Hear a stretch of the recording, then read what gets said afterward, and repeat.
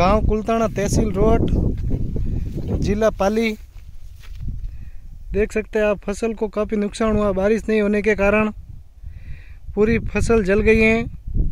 सरकार से मेरी एक ही विनती है कि मुआवजा देकर किसान भाई को